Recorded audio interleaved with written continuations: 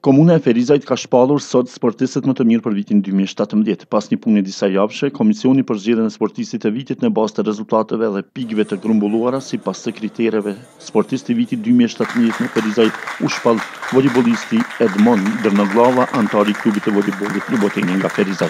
Edhe epiteti i ekipit më të mirë i takoi pikërisht klubit të volejbollit Luboteni nga Ferizaj. Përfituesit e këtyre çmimeve u tha se është motiv shtesë që të punohet edhe më tepër gjatë këtij viti që të tejkalohen këto rezultate të cilat u arritën në vitin e kaluar. Është në fakt një shpërblim për punën njëvjeçare që kemi bo ne si kryesi, po ashtu dhe lojtarë tonë, edhe besoj që është shpërbly, domethonë me të drejtë klubi jonë, me gjithë arritjet që kemi pas gjatë vitit që shkoi, Siç e thanë dhe komisioni që e ka bo në fakt përzgjedhjen, ne kemi pas rezultate t'mira në kampionatin vendor, kampionatin mbarëkombëtar dhe po ashtu në fitimin e kupës së vitit, vitit që shkoi. Edhe po ashtu është kënaqësi e veçantë që edhe një nga lojtarët tanë u shpall sportist i vitit për komunën e Ferizajt, ishte ky Edmondi, është një çun i ri, lojtar në perspektivë dhe besoj që do të nxjerrim lojtarë të tjerë në ekipin tonë për ta më një garantojmë që do të kemi suksese edhe më edhe më të mëdha. Ky çmim do të thotë shumë për mua, faktikisht është një çmim që nuk e prita fillimisht. Po me këtë çmim po du fillimisht me falënderu familjen, me falënderu klubin, i cili ka një hapësirë të veçantë për gjithë t'rinjtë për me punu edhe me përparu në këtë sport. Gjithashtu kisha falënderu edhe këshillin profesional që ka bo këtë përzgjedhje. Për fund kisha dashur thjesht me uru që sporti i volejbollit të ketë ngritje edhe ketë përparim më shumë në çdo sferë të sportit. Do të thotë shumë për mua, jam gëzuar shumë pasi i kam bërë krenarë prindërit dhe trajnerat e mi. Shpresoj që edhe këtë vit vazhdoj me këto rezultate dhe t'i bëj krenarë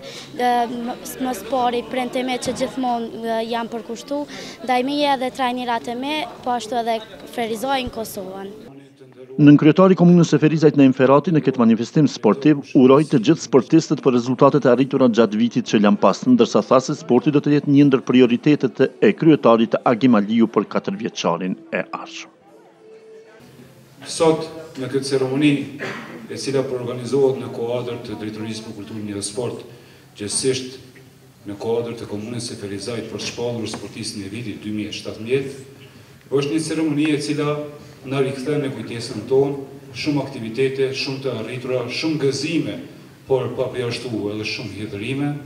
të sportit dhe sportistëve tonë. Duke pas parasysh që Komuna e Ferizajt në këtë mandat qeverisës të kryetarit Aliu ka një ndër prioritetet kryesore, zhvillimin dhe avancimin e sportit, ristrukturimin dhe organizimin e klubeve, uroj që ky angazhim dhe ky kontribut i kryetarit Aliu dhe i gjithë sportistëve dhe të gjithë strukturave tjera komunale në fund të kurorëzohet me rezultate pozitive për gjitha disiplinat sportive dhe për të gjithë sportistët tonë. Gjatë kësaj ceremonie u dhanë edhe shumë e shumë mirënjohje dhe kupa për më të dalluarit që ishin gjatë vitit dy mijë e shtatëmbëdhjetë.